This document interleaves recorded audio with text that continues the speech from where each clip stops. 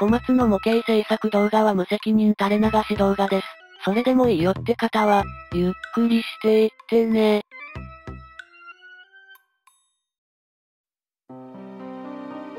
皆さんこんにちは。小松です。だいぶ動画の更新が遅くなってしまいました。年が明けてからというもの、仕事でやらかして、やっと収束したと思ったら風邪をひいて、風邪が治らないうちにまた仕事が忙しくなって、最後に動画編集をしているパソコンがクラッシュしました。なんだか今年は運気が悪い気がします。今回の動画ですが、パソコンクラッシュの関係で、一部動画がなくなってしまいました。無理やり繋げたのですが、わかりにくかったらごめんなさい。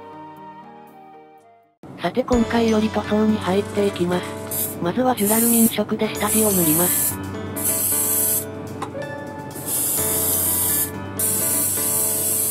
機体が大きいので塗装ブースに入りきらない。マスキングをしたキャノピーも同様に塗装していきます。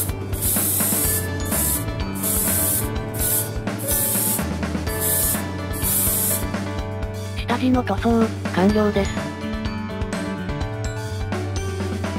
錦大帝は機体株がアルミ色、上が暗緑色なので、機体株をマスキングしていきます。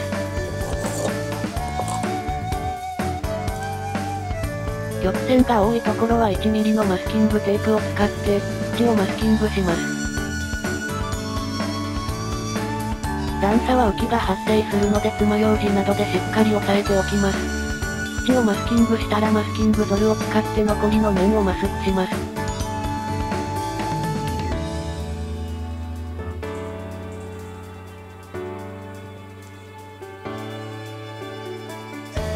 マスキング完了です。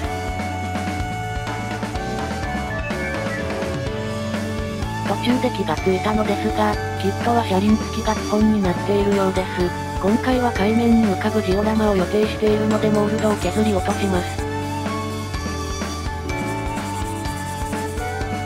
削り落としました。中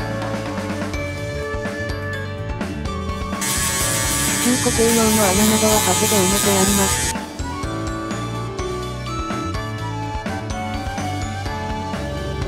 体もマスキングを行っていきます。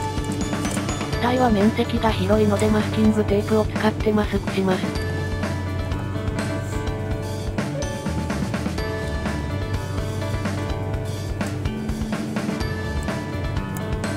場所に合わせてテープの幅を変えつつ、マスキングを行います。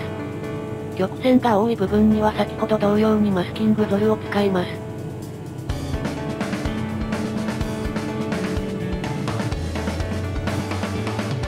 今回初めてシリコンバリアを使ってみたいと思います。これを塗った上に塗装をすると塗膜が剥がれやすくなり、経年劣化で塗装が剥げたような表現ができるそうです。このシリコンバリアを原液のままエアブラシで塗装していきます。十分に乾燥させたら暗緑色を塗っていきます。機体が大きいので時間がかかりそうです。